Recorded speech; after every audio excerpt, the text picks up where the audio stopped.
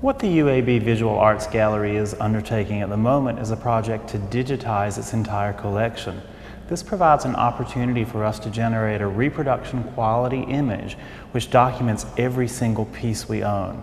Right now the university owns approximately a thousand pieces and when we search our database we presently can't pull up a good quality image to see what that work is. We have to go into our resource room and actually pull the work and that's very much a challenge.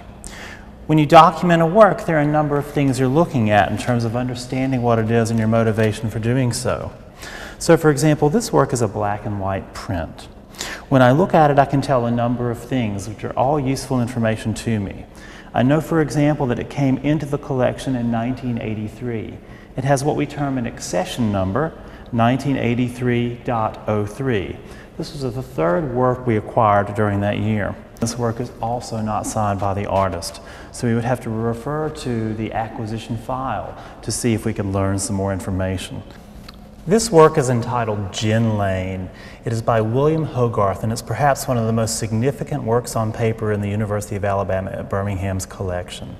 One of the things we see about Gin Lane is that it has incredibly fine detail.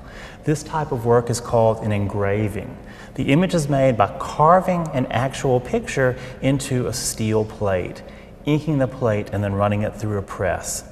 One of the things we can see when we look at this work is that there's actually an indentation that runs along the entire side of the paper. That indentation is called a plate mark, and it tells us, because of the pressure of the plate on the paper, that this work was run through a press.